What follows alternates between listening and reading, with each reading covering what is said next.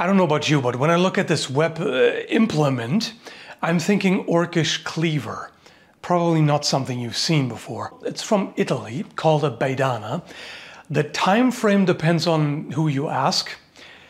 Definitely 17th century, usually uh, 16th and 18th is included as well. But how far back it goes is debatable. It depends on when you want to start calling it a Beidana. Back in history, people weren't as concerned with labels as we are nowadays. They would often just call something a, a knife or a sword, or uh, regardless of what individual type, because they didn't do typology as such. But um, there is a lineage going back pretty far, all the way back to Lombardian knives. Uh, these are examples from the 8th and 9th century. They already have this tang hook, and the shape starts to look similar, but you wouldn't call this a Beidana yet. Typically, it's said that they occurred between the 12th and 18th century. Most of the examples I found were from the 16th to 18th century, if they were dated. Not very well known. In fact, I managed to stump ChatGPT by asking about it. It had nothing, not even a guess. So is it a tool or a weapon? That also depends on who you ask. Sometimes they're labeled as weapons. Some people say it's both. And some say it's agricultural tools only. I'm leaning toward both. There is one particular example that makes me think it was designed as a weapon. This one here, because it has a blunt ricasso, uh, meaning there's a section of the blade which is completely unsharpened. That's typically a feature of a weapon, uh, simply because with a weapon, you, if you strike with it, you're not going to do it with that part of the blade, and you're more likely to block or parry with that part. So it doesn't need to be sharp, and there is an argument to be made in favor of leaving it blunt because that way it doesn't get damaged as much. Whereas with a tool, you might actually want the entire blade to be sharpened because even if it's a machete, there are situations in everyday life where you might want to slice something as opposed to using percussive chops. In that case, you would use the section of the edge close to the handle for the right leverage. This is still ambiguous because it does not have a guard. If it had a guard as well, in addition to the ricasso, it would be fairly clear cut. As it is, I would still say the ricasso is a strong argument for a weapon design. There's another one, a Beidana, which is also a pole arm. This is a very interesting one. What would be the handle on a sword or machete also serves as a socket for mounting as a pole arm here. And of course, a pole arm is a weapon. So at least some of them were intended as weapons. I'm thinking most likely both, both tool and weapon, because they didn't necessarily distinguish as much, especially when it comes to commoners. Nobility knights would have dedicated weapons, but commoners would benefit more from something that fulfills both roles because they wouldn't really want to invest money into just a weapon that they can't use for everyday tasks. Anyway, as is usually the case in history with handmade objects, there's plenty of variation. There are different shapes. Uh, these are generally single-edged, and the most distinctive feature of this design is the hook at the end of the grip, which is formed by the tang. Uh, this is similar to the Czech Dusak, which also has a D-guard that the tang forms. The Beidana can also have a D-guard.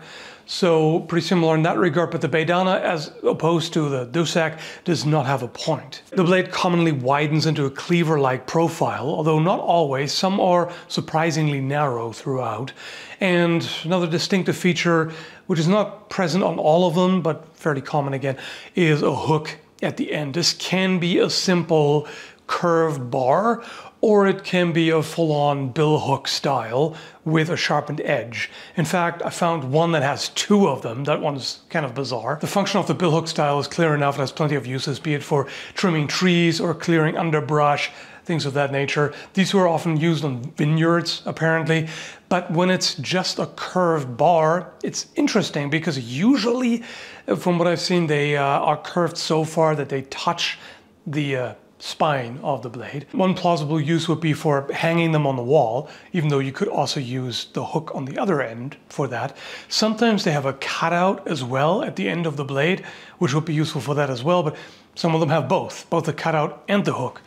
Uh, one unconventional use we see in The Witcher of all places, the series. Remember this guy from the Blaviken fight? I've seen people comment on it, dismissing it as just fantasy nonsense, but clearly it's based on a Beidana. At least it looks very much like it. And uh, the way he uses it is very unconventional. He's uh, reverse gripping it and holding on to that part at the end.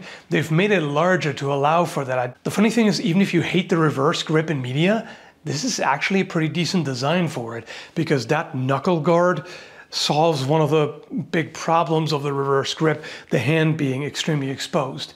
It's actually not so bad. And it has a blunt ricasso apparently as well for blocking there. There are also very short cleaver versions of these, which would suggest tool use mainly, although... Good old times, huh? No internet, no phones, just people living in the moment. Anyway, even though the Beidana is generally overlooked and rarely seen, I've found a surprising number of original finds, actually. They come in a number of different forms, but all distinctive, all recognizable as Beidana.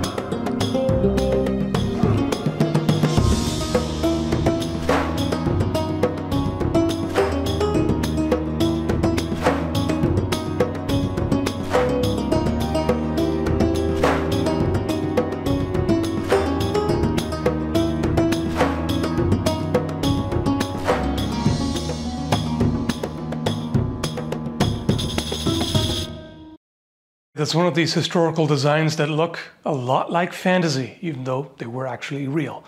Anyway, hope you enjoyed this, found this interesting. Thanks for watching, and take care.